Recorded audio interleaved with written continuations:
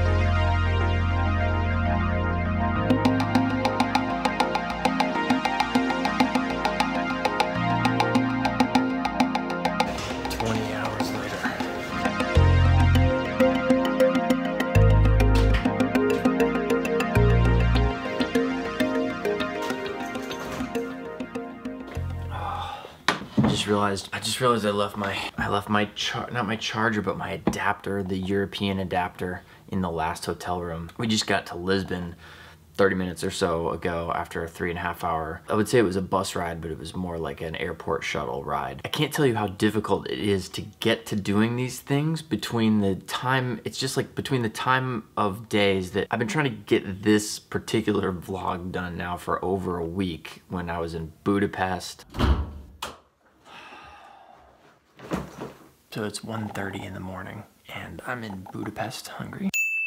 I'm super hungry. There's no room service at the hotel. There's no restaurants. There's nothing around. Fortunately, I did find some food. Let's see what we have here. That's gonna have to be dinner. Not bad.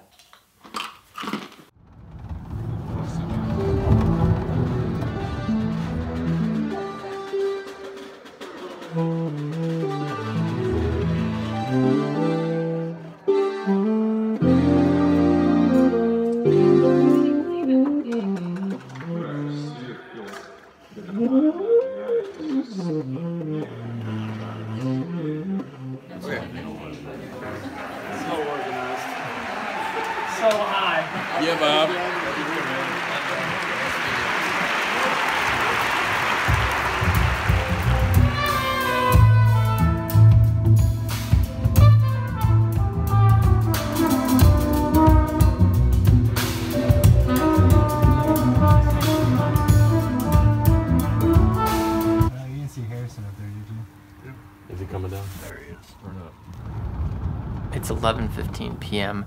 Just got back to the hotel and we are flying tomorrow to Torino, Italy. The flight is at 6 a.m., which means we're leaving the hotel at 3:15 a.m. That's exactly 4 hours from now. 3:30 in the morning, leaving Budapest now to head to Italy.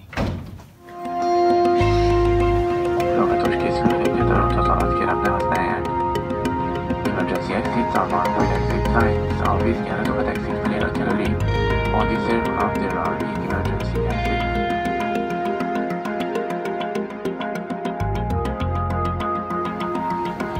How you feeling? Then in Turin, Italy.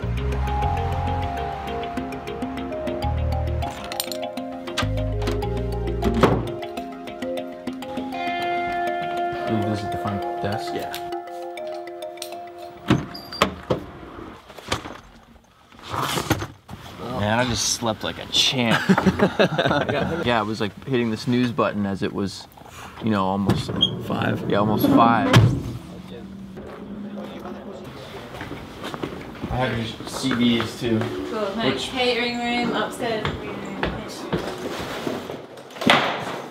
ah. room.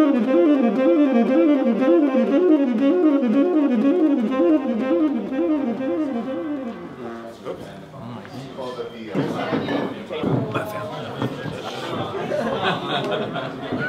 right, Bethany.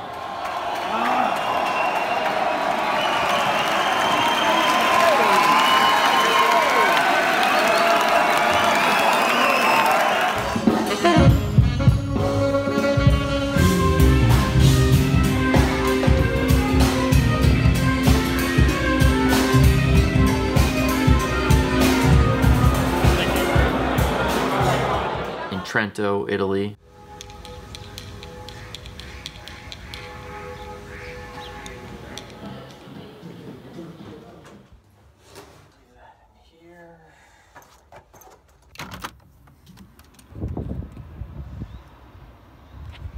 Sound check is in 20 minutes, and I'm gonna walk through town instead of doing the uh, the van shuttle.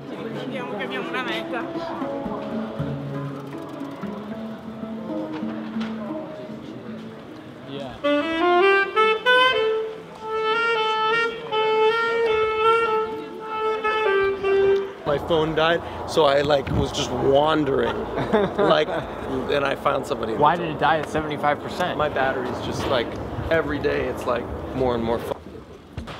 Best goddamn drummer in the world.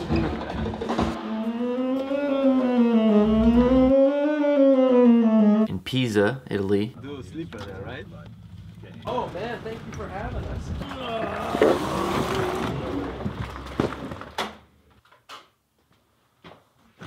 Always nice to have a little poetry above your bed. Yeah, we got room. That's we it? got room. How long?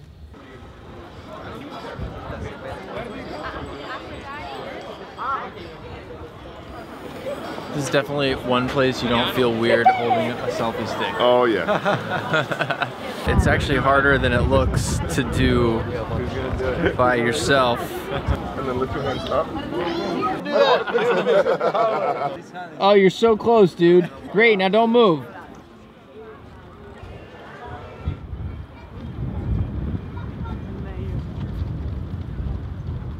I have a friend that works at one of the, the plants.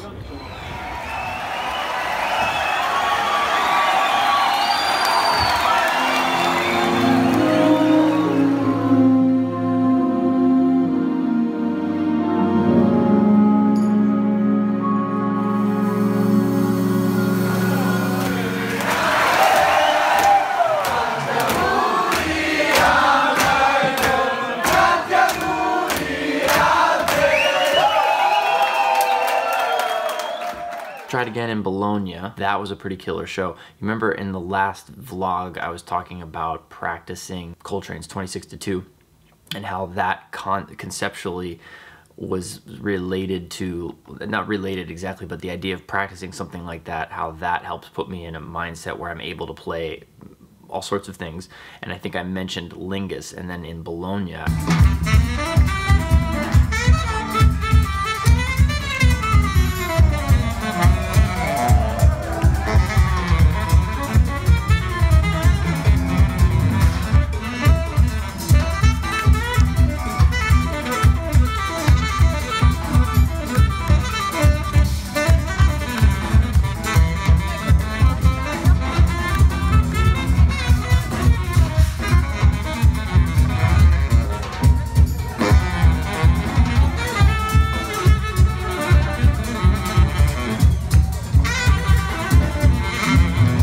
idea behind that is that I don't like to practice a song per se. Like I would, I wouldn't, I want to say, I don't want to say never, but I wouldn't want to practice playing over Lingus because then when I go to play over that song or any song for that matter, um, in particular, like in this repertoire, then I feel like I'd be, well, not so much that I'd be drawing on the ideas I practiced, but that that stuff would sort of be in the chamber, so to speak. So I wouldn't really feel as free in the moment. Whereas the kind of workouts I'll do on a by going down a path like something like 26-2, it's an entirely different thing, and yet it's about unlocking different colors and harmony and ability that then I can call upon in in the moment, which is always what I'm hoping to be doing, and never playing anything prescribed that I thought about on a particular tune. I don't know if that makes any sense. Then we had a day off to travel to Portugal, and we went to Porto. And yesterday's show was really really fun. The audience, it was a it was a theater audience, but by the end of the show, they were up out of their seats dancing.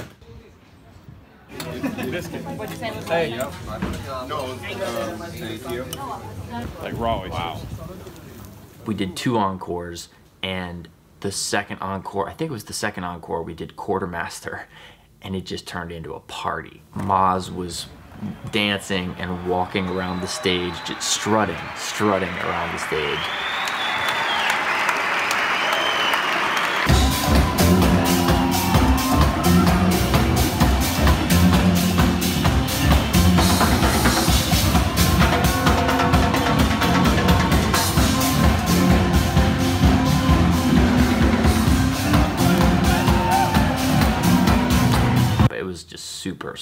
I mean, all these shows have been so fun, but a show like last night was just through the roof. So the questions keep coming in and there've been a lot of great ones. One of them I thought would be good to address right now, very appropriate, is uh, a question about being on tour and kind of how that works with family.